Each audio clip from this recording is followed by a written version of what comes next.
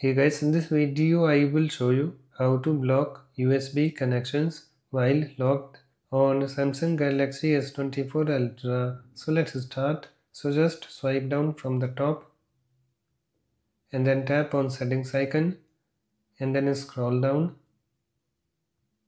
to security and privacy and then tap on it and then scroll down to mode security settings and then tap on it and then scroll down a little bit and you can see here we have block USB connections while locked this option. So we have to enable it. So to enable it you have to enable this toggle button next to it. So to enable this toggle button just tap on it so that this slider moves to the right.